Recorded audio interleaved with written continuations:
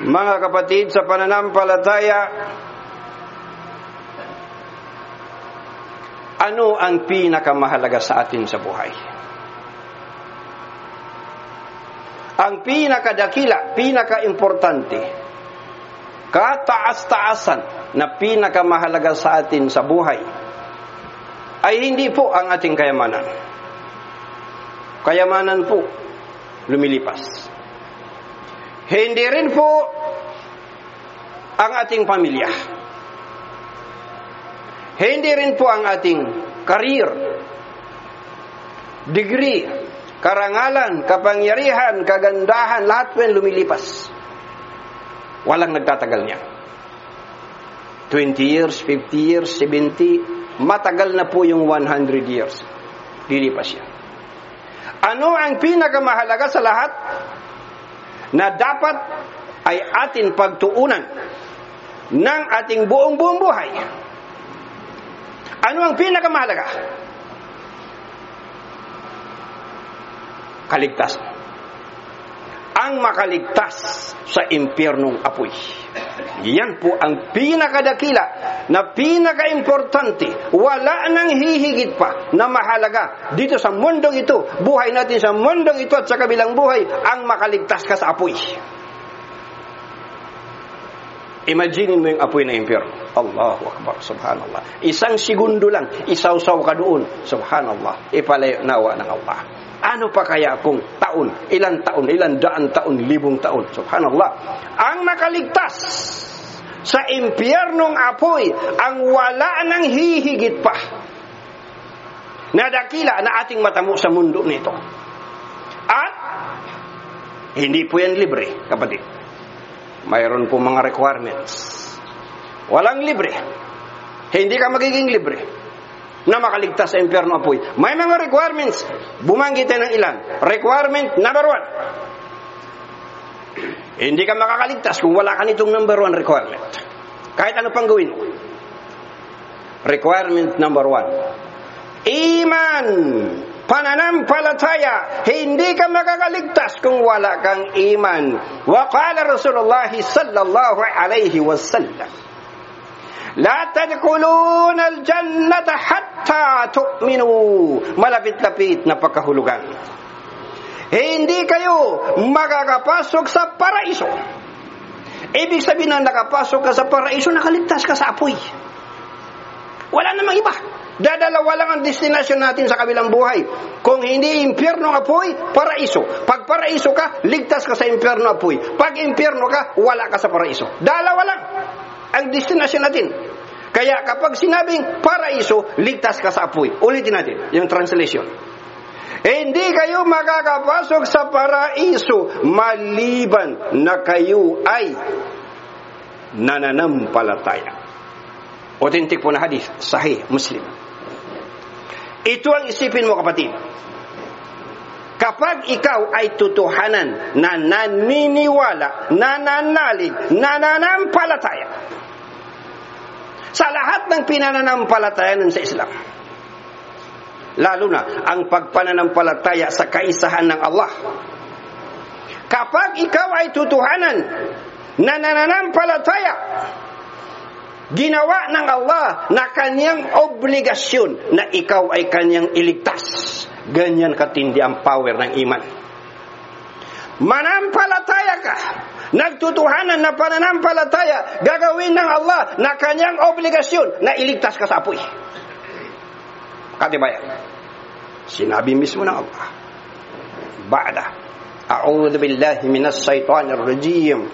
ثم ننزي رسلنا والذين آمنوا Kadhalika haqqan alaina nunzil mu'minin. Malapit-lapit na pagkahulugan. Ito po yung katibayan na manampalataya ka lang ng tutuhanang pananampalataya. Gagawin ng Allah na obligasyon niya iligtas ka. Gagawin ng Allah na kanyang responsibilidad iligtas ka. Basa, translation. Pagkatapos, Iniligtas namin ang aming mga sugo at ang mga yaong nananampalataya. Sa ganyan ay aming obligasyon na iligtas ang mga mananampalataya. Allahu Akbar. Sa gayon ay ginawa ng Allah subhanahu wa ta'ala na kanyang obligasyon na iligtas ka. Kadalika haqqan alayna nunzil mu'minin. Sa gayon, ay nagiging obligado ang Allah. Duty niya, responsibilidad niya na iligtas ang mga mananampalataya. Kaya kinakailangan kapatid maintindihan natin mabuti ito. Iman. Napaka-importante ang iman. Ngunit, requirement number two, kahit lima lang, banggitin natin. Marami pa po ang requirements sa kaligtasan, hindi po libre. Bumanggit lang tayo kahit lima, baka hindi kaya ng oras. Sa susunod ng mga pagkakataon, dugtungan natin, inshallah. Requirement numero dos. Kahit na mayroong kang iman, ikaw ay nananampalataya, naniniwala ka, ngunit ang pundasyon ng pananampalataya mo ay mali na kaalaman, mali na pagkakaintindi. Mali na kaalaman, mali na akida. Mali na pagkakaintindi mo sa Allah, mali na pagkakaintindi mo sa mga sifat ng Allah. Kahit nananampalataya ka, tipo ka pa rin sa apoy. Upo, kaalaman. Therefore, ang pangalawang requirement ay kaalaman. Hindi lang kaalaman, tumpak na kaalaman. Alam mo sino ang Allah, paano sasambay ng Allah sa tama, paano sasambay ng Allah na walang beda, kaalaman, para maintindihan mo ano ang Allah, ano ang sifat ng Allah. Oy, nananampalataya ka. Napakarami po ang uri ng pananampalataya. Na puro sablay. Pananampalataya kay Iso Kristo. Pananampalataya rin yan. Pananampalataya kay Mao Zedong. Pananampalataya kay Hitler. Pananampalataya kung sino-sino. Ang tawag rin mga pananampalataya, paniniwala. Ngunit, isa lang ang pananampalataya tanggap sa Allah, pananampalataya sa La ilaha illallah, pananampalataya sa kaisahan ng Allah. At kailangan mo rito ang tumpak na kaalaman dahil marami po ang mga Muslim nananampalataya, ngunit sablay ang kaalaman. Kaalaman po mag-aangat sa atin ng mas mataas na antas sa buhay, kaalaman. Mula po sa madilim na pamumuhay sa pamamagitan ng kaalaman, nalaman mo ang iyong agama, ang iyong relihiyon, nalaman mo ano ang halal, nalaman mo ano ang haram, nalaman mo anong ikagagalit ng Allah, anong ikalulugod ng Allah, sa pamamagitan ng kaalaman, natutuntun mo ang mamuhay ng maliwanag. Ganito kaimportante ang kaalaman. Ang kauna-unahan po na ayah ipinahayag kay Propeta Muhammad sallallahu alaihi wasallam kaalaman Iqra bismi rabbikal ladzi khalaq basa basahin mo o Muhammad basa kaalaman po ang basa kaalaman basahin mo sa pangalan ng iyong Panginoon na lumikha sa lahat ng nilalang Ganito ka-importante. Hindi lang po basta kaalaman, kundi tumpak na kaalaman. Kaya po obligado tayo mga Muslim na magtanong-tanong, mag-research-research, matuto ng kaalaman na tumpak upang ang pananampalataya mo ay tuwid at tumpak din. Dahil anin mo ang pananampalataya na ang pondasyon ay mali na kaalaman. So napakadali ngayon matuto. Hindi ka tulad ng panahon noon. Isang hadith lang, aabutin ka na isang buwan paglalakbay para lang makuha mo. Ngayon po, libo-libong hadith, isang minuto lang. Pumunta ka lang sa mga website ng mga Islamic websites. Ang dali matuto ngayon ng Islam. Ang dali matuto ng Allahu Akbar ng mga Muslim. Ngayon, kapag po ang mga taga-impyerno ay papasok na sa impyerno. Sila po ay sising-sisi. At alam mo ba ang pinagsisisihan nila? Habang papasok sila, sasabihin nila sa isa't isa, kung ginamit lang natin ang ating kaalaman, utak, talino. Papasok sila sa impyerno apoy. Sasabihin nila, kung nakinig lang tayo, kung ginamit lang natin ang ating mga talino. Ibig sabihin, kaalaman. Hindi sana tayo mapapabilang sa mga mananahanan sa impyerno apoy. Wa qalu law kunna nasma'u aw na'kilu ma kunna fi ashabis sa'ir. Malapit-lapit na pagkahulugan. Ito yung mga taga-impyerno po na papasok sa impyerno. At sasabihin nila ng punong-puno ng pagsisisi kung nakinig lamang o ginamit lamang natin ang ating talino, hindi sana tayo mapapabilang sa mga mananahanan sa naglalagablab na apoy. Allah, ipalayo tayo ng Allah. So, ibig sabihin po, ang may kaalaman, angat sa walang kaalaman. Hindi po magkatulad ang may kaalaman sa walang kaalaman. Bigyan ko ng example. Konkretong example. Halimbawa, nakatayo ang khatib at nagkokotbah. At ikaw panay browse ka sa cellphone mo. Hindi mo malaman kung nag-YouTube ka, nagpi-Facebook ka, nagmi-messenger ka, nagsisilpi-silpi ka. Ang pwede lang po umawak ng cellphone ng khatib, ang imam. Dahil siya ang exempted, pwede kahit anong hawakan niya, libro, notebook, kahit anong hawakan niya para mag-deliver ng khutbah. Ang imam lang. Pero kayo na mga maamo, bawal humawak ng cellphone at laro-laruin yung cellphone. Dahilan sa walang kaalaman yung mama, sa tuwing Friday na nagkukutba ang imam, panay silpi-silpi siya, panay messenger, panay cellphone-cellphone siya, wala ka ng sambayang bro, wala ka ng sambayang sis, para malaman mo. Burado na ang sambayang mo, invalid ang sambayang mo. Yun ang hawak-hawakan mo lang yung bato eh. Invalid na ang prayer mo. O kaya laro-laro yung tasbih, nagtatasbih ka na nagkukutba, tapos na ang prayer mo. Waman masal hasa, fakad laga. Sino man ang humawak-hawak sa bato, pinawalang saysay ang kanyang sambayan. Allahu Akbar, subhanallah. Hadis ni Muhammad sallallahu alaihi wasallam. Kaalaman. Walang alam yung mama. Dahil sa kanyang kawalang kaalaman, useless ang kanyang Friday prayer. Marami tayong nakikita rito. Dahil sa kamagmangan, kaignorantihan, nagbubulungan, nagbabatian ng assalamualaikum, nagbabalitaan, wala ka ng sambayang bro. Kaya kailangan ng kaalaman. Ang may kaalaman ba katulad ng walang kaalaman? Hindi po. Qul hal yastawi alladhina ya'lamuna walladhina la ya'lamun. Sabihin mo, ang mga yaon ba na may kaalaman ay katum, kat, katapat, katumbas ng mga yaong walang kaalaman. Allahu Akbar. At ano ang kaalaman? Di na natin. Ano po ang kaalaman na kailangan natin malaman?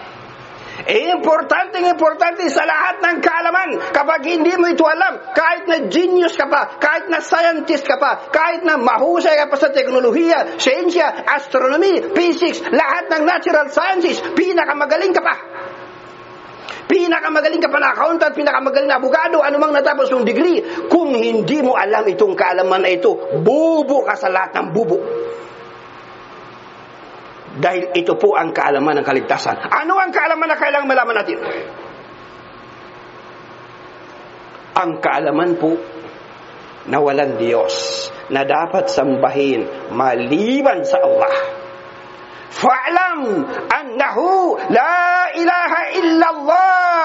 Kaya't kailangang malaman mo na walang Diyos na dapat sambahin maliban sa Allah.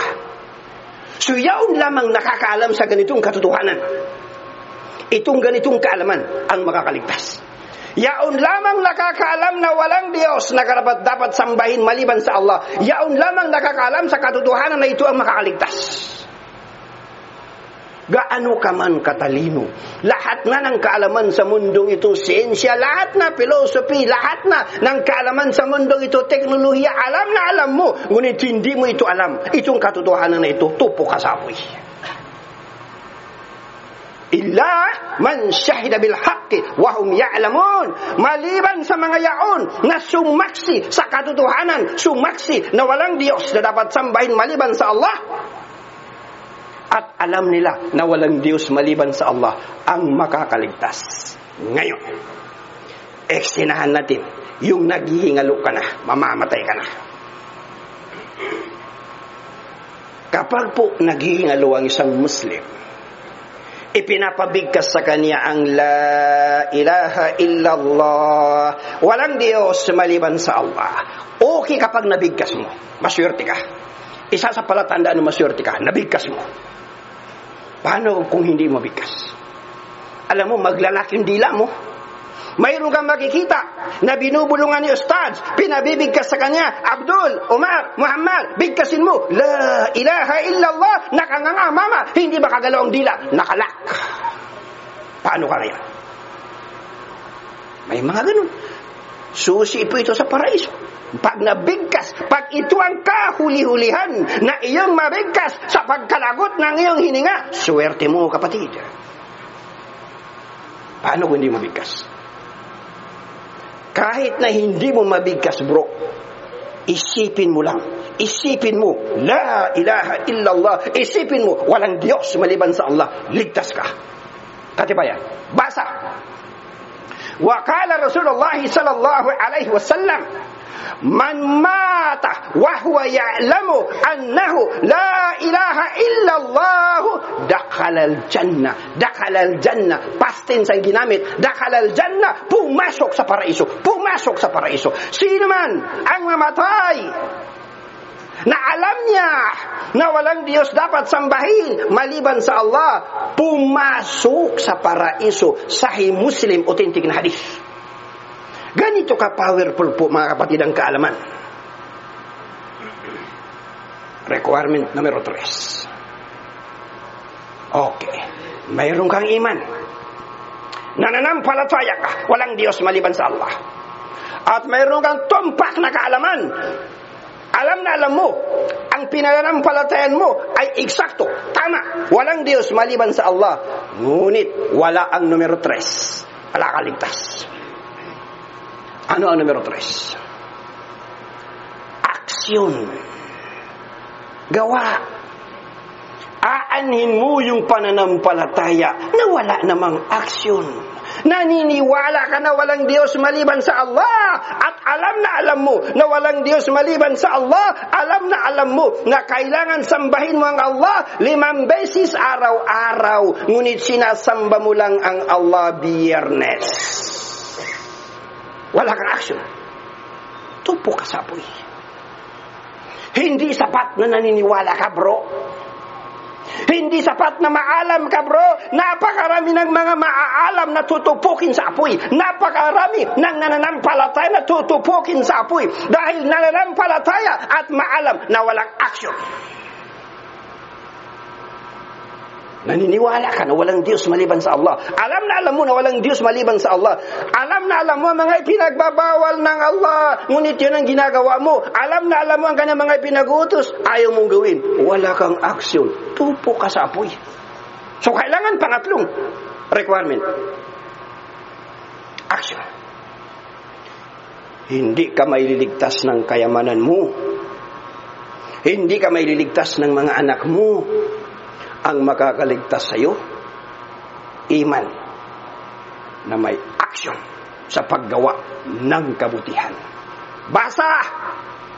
وما أموالكم ولا أولادكم بالتي تقربكم عندنا زلفى إلا من آمن وعمل صالحا فأولئك لهم جزاء الضعف بما عملوا وهم في الغرفات آمنون Ito po yung katibayan bro na hindi sapat nananampalataya ka. Napakarami po ang mga nakakamemorize ng Quran. Napakarami ng mga ulama. Napakarami marami ng mga malalaki ang kaalaman, mga nananampalataya, ngunit walang aksyon. Walang aksyon. Tupo ka sa apoy. Kailangan may pananampalataya, may aksyon. Basa. Translation. At hindi ang inyong kayamanan, ni ng inyong mga anak, ang makakapagpalapit sa inyo sa akin, sa amin, sabi ng Allah subhanahu wa ta'ala kundi siya lamang na nananampalataya at gumagawa ng mabubuting gawain. Nananampalataya at may action. Yan ang kailangan mo bro. Hindi sapat mananampalataya ka na wala kang action. Ano, tutulog-tulog ka lang, darating sa iyong paraiso? Ha? Hindi mo tatrabahuin? Sabi mo, naniniwala naman ako eh. Muslim naman ako eh. Nasa puso ko, hindi ko kailangan maghijab. Sabi ng sister, hindi ko kailangan maghijab. Nasa puso ko ang pagiging Islam. Ano kasi swerte? Kailangan tatrabahuin mo. Aaksyonan mo. Maghihijab ka. Hindi sapat na naniniwala ka na walang Diyos maliban sa Allah. Kailangan trabahuin mo. Dagdag pa ng ayat ng translation. Para sa mga yaon, mayroong dalawahan na gantimpala para sa kanilang ginawa at sila ay mananahanan sa matataas na tirahan ng mapayapa at ligtas. Ibig sabihin paraiso. So hindi natin ito makakamit sa pamagitan ng mga anak natin, mga kayamanan natin, kapatid. Ito ay sa pamagitan po ng iman at action. Kaya kailangan sa bawat isa sa atin, araw-araw, Magsumikap ang bawat isa sa atin na hindi lang ikaw nananampalataya, kundi sasabayan mo, didiligin mo ang iyong pananampalataya, didiligin mo na mga gawain na kabutihan. Napakarami ng gawain kabutihan. Basa ka ng Quran, basa ka ng hadis, magsunat ka, prayer, magpasting ka, napakarami ng magagawa natin. Magbigay ka ng sadaka, ang dami ng magagawa natin kabutihan at ikaw ay ligtas. Katibayan? Man amila salihan min dhakarin aw untha wa huwa mu'minun falanuhyiyannahu hayatan tayyibah wa lanajziyannahum ajrahum bi aksani ma kanu ya'malun. Iman na naman at saka action.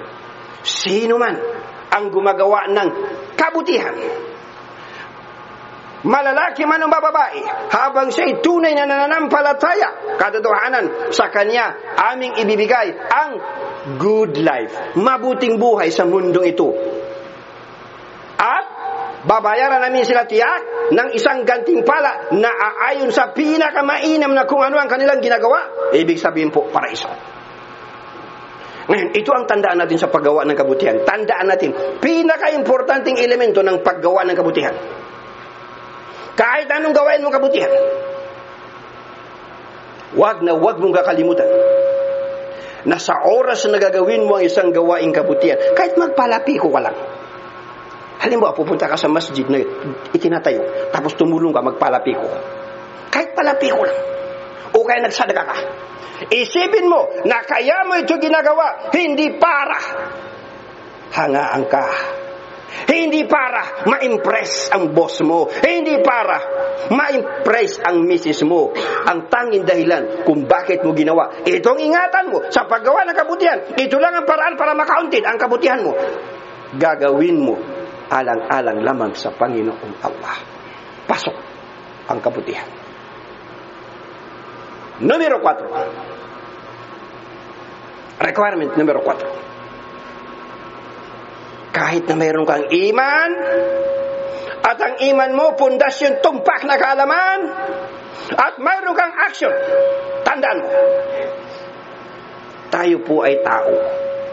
Mga tao lamang tayo built-in, nasa loob natin ang pagnanasa. Walang sino man sa atin na walang pagnanasa. Pagnanasa sa babae, pagnanasa sa lalaki, pagnanasa sa pera, pagnanasa sa kapangyarihan. Ah, lahat tayo may pagnanasa.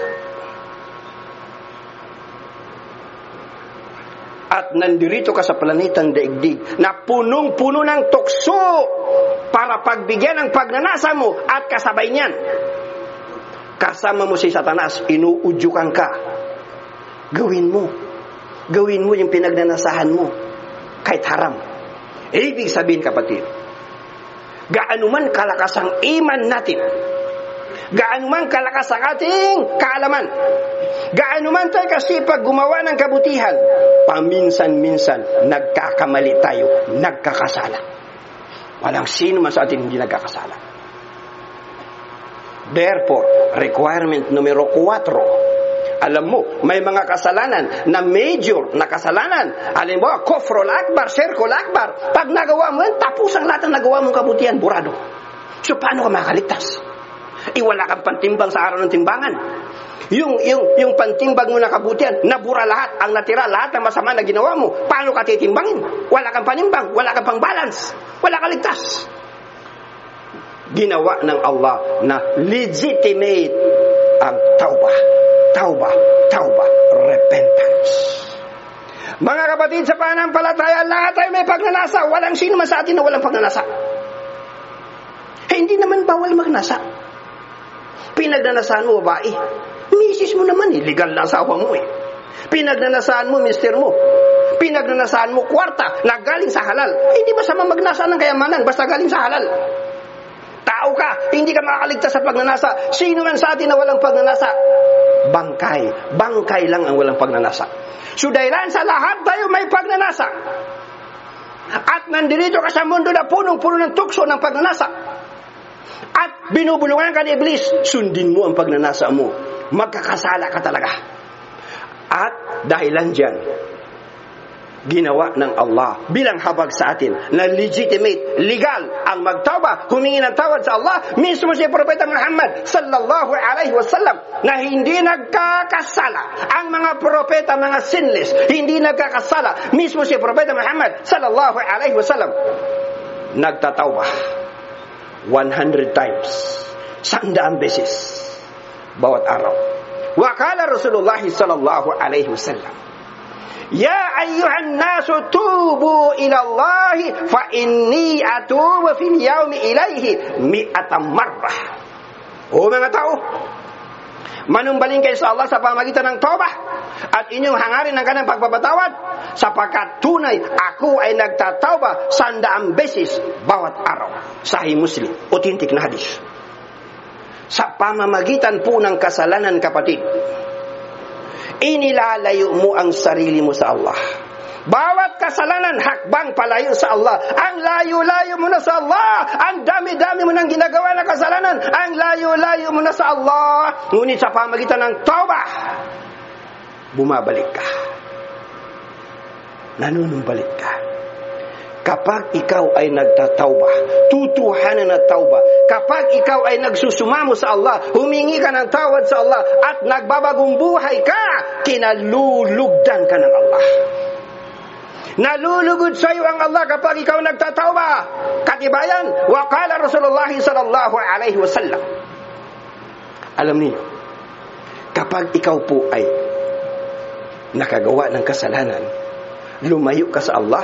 Kapag ikaw ay nagtauba, lumapit ka muli sa Allah, bumalik ka sa Allah. Kapag ikaw nagtatauba, katulad ka ng taong walang kasalanan. Wa kala Rasulullah sallallahu alaihi wasallam, at-taibu min adh-dhanbi kaman la dhanba lahu. Ang isang tao na nagtatauba sa kasalanan ay katulad ng isang taong walang kasalanan.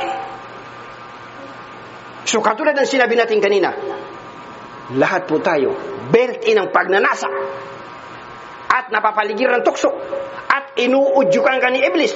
Kaya nagkakasala tayo, nagkakamali upang nang sa gayon tayo po ay humingi ng tawad sa Allah.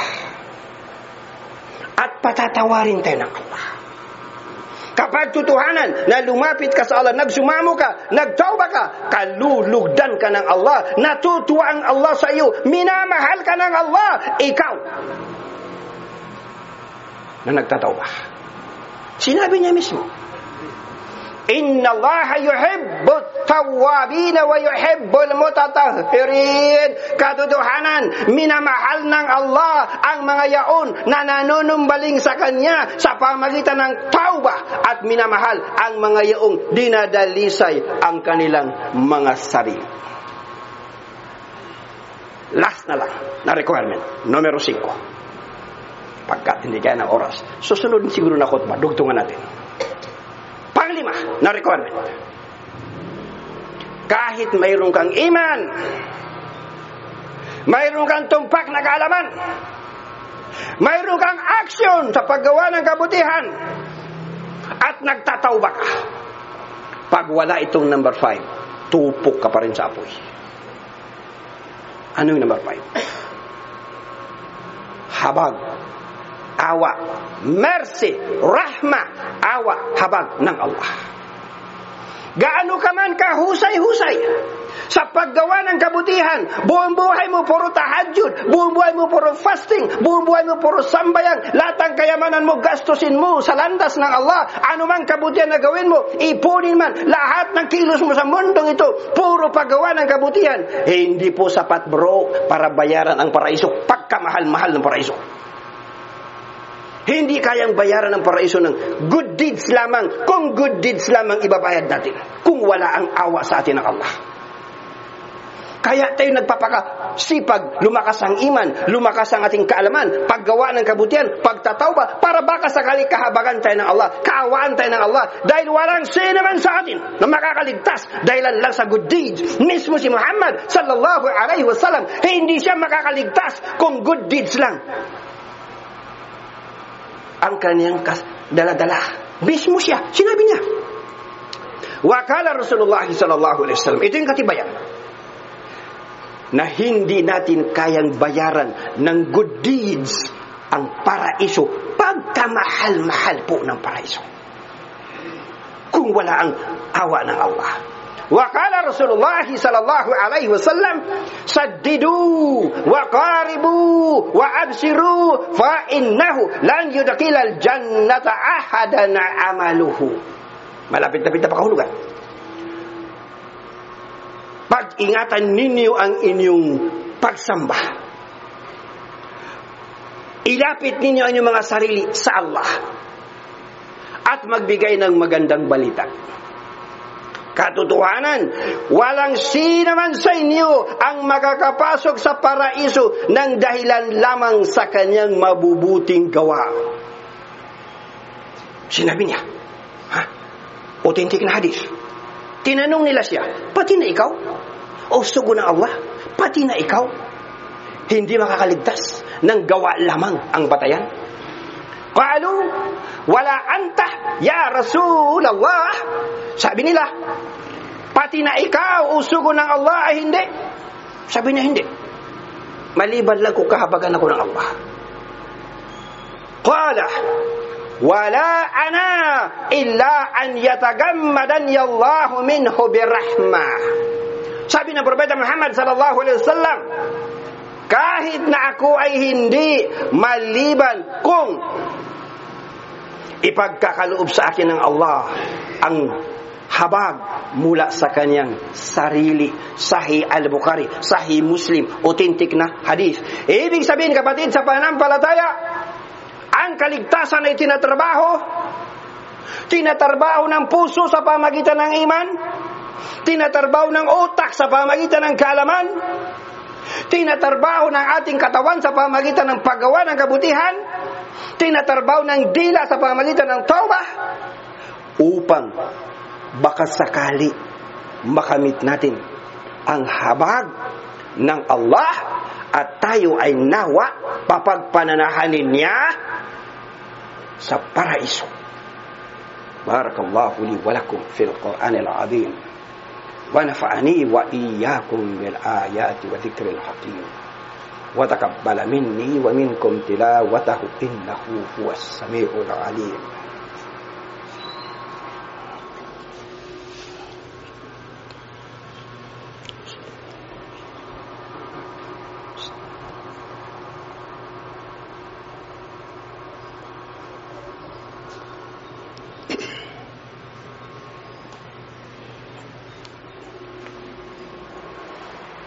الحمد لله حمدا كثيرا كما أمر. أشهد أن لا إله إلا الله وحده لا شريك له وأشهد أن محمدا عبده ورسوله. عباد الله اتقوا الله حق تقاته ولا تموتن إلا وأنتم مسلمون. Mga kapatid sa pananampalataya, alam na alam natin Ilang beses na natin narinig yung ganitong khotbah. Paano maparaiso? Ngunit, karamihan sa atin hindi natin siniseryoso paano maparaiso. Alam na alam natin pa paano makaligtas sa apoy. Ngunit abalang-abala ang bawat isa. Sa kanyang tindahan, sa kanyang opisina, sa kanyang career, sa kanyang trabaho, sa kanyang classroom, pag-aaral, o anumang pinagkakabalahan sa atin, abalang abala tayo kapatid, magugulat ka na lang. Dadalhin ka na pala sa punto. At buong buhay mo, ginugol mo sa pag-iimbak sa makamondo na tiyak na iiwanan mo rin pala. Nakalimutan mo pag-imbakan ng kabilang buhay. Lilipatan mo. Kung maglilipat ka ng bahay, Ha, kapatid, maglilipat ka ng bahay. Hindi ba inahakot mo? refrigerator mo, television mo, mga up. Lahat ang importante, inililip, hinahakot. Kasi maglilipat ka. Alam mo na doon ka titira. Itong ating buhay sa mundo ito, pinakamatagal ng 20 years, 50 years, 70 years, pinakamatagal na 100 years, lahat ay lilipat. Ngunit karamihan sa atin hindi pinagkaandaan yung lilipatan. Abalang abala tayo sa makamundo. Ang bunga akala natin, ito lang ang mundo natin. Alam natin na lilipat tayo. Alam natin na mamamatay tayo. Alam natin na mayroong kabilang buhay. Ngunit ang pinaghahandaan natin, ang buhay ngayon sa mundo, hindi ang kabilang buhay. Allahu Akbar. Nawa, buksan ng Allah ating mga isipan, puso. Maintindihan nating mabuti ang paghandaan ang kabilang buhay.